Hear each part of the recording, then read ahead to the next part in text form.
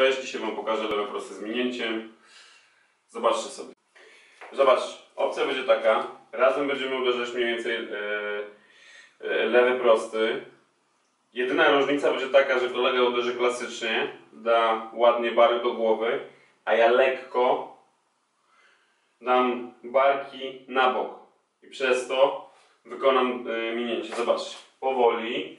Hop, tu widać. Ja trafiam, a kolega nie. Tu oczywiście będzie obcierka jak najbardziej, tak? Jeszcze raz. Hop, tu. Ja nie mogę teraz zrobić czegoś takiego, o tu. Dlatego, że wtedy ta jego ręka uderzy tu i może mnie pyknąć, co powoduje, że ja go nie trafię. Ja tu specjalnie daję miejsce na bark, żeby jego ręka przeszła. Zobaczę sobie powoli. O, ok. Jeszcze raz. Widać?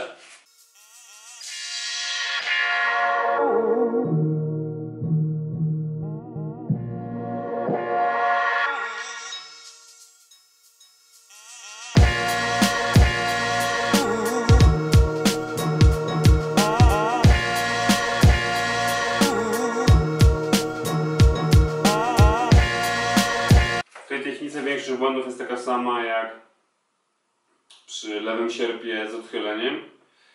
Jedna różnica jest taka, że jeśli nie ruszę głową tak, i barkami na bok, to dam się trafić i dwa, że jeśli ten bark tutaj dam, to ta ręka przeciwnika może się ześlizgnąć i mnie trafić i to nic nie da.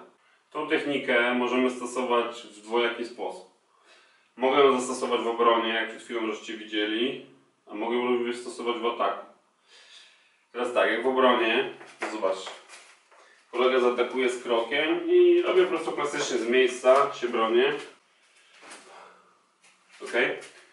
Wytrzymuję nerwowo, on atakuje odpowiadam lewym z delikatnym minięciem. Jak ja atakuję, przez to, poprzez ten tej ruch, lekko tułowia w bok i zostawienie tej przestrzeni tutaj poprzez bar, który będzie teraz nisko, on przestrzeli. On mnie mu się wydaje, że moja głowa pójdzie po prostej linii, a to nieprawda. W momencie, kiedy ja zaatakuję, to on przestrzeli, ja go trafię, mnie nie. Popatrz.